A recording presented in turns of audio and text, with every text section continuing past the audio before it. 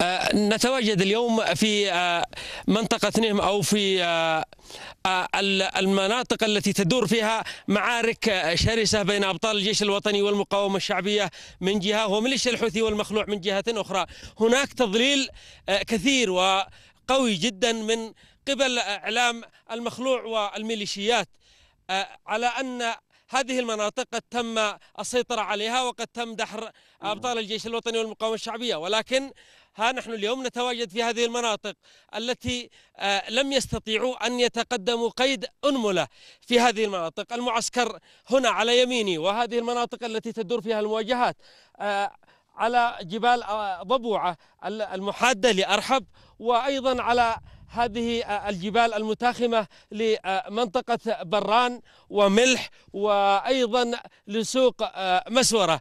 هنا معنا آه، أحد القادة الميدانيين في هذه المواقع. نريد منه أن يخبرنا عن سير المواجهات التي تدور في هذه المناطق.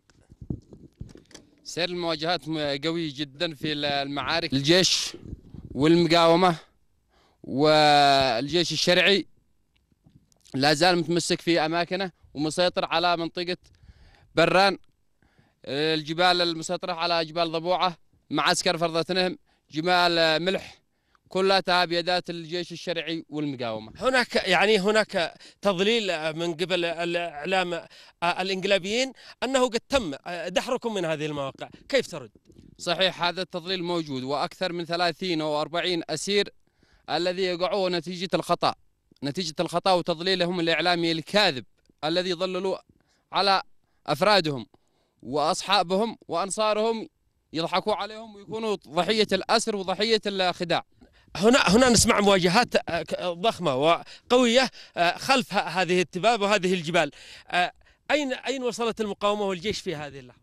هذه الجبهة اليسرى في ملح. يعني هذه الميسرة. المئسرة من من من مكاننا هذا؟ أين تبعد المواجهات على هذه ال- تبعد خمسة كيلو من ناحية اليمين. أو أكثر باتجاه ضبوعة باتجاه ضبوعة والميسرة؟ أكثر من عشرة كيلو أكثر من عشرة كيلو إذا يعني المواجهات مستمرة على بعد عدد من الكيلوهات من من هذه المناطق. صحيح إذا هذه هي المعارك التي تدور في هذه المناطق.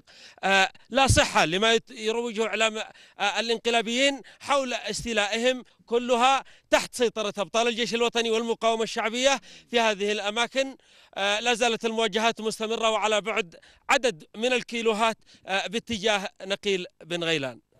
عبد الله أبو سعد قناة سهيل نهم شرق صنعاء.